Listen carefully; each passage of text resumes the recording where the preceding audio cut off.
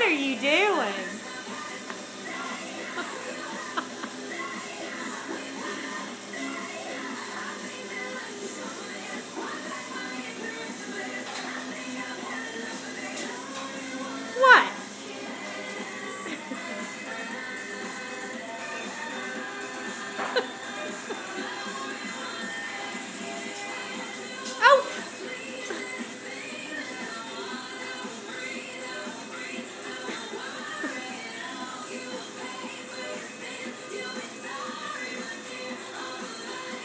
Do you like pink?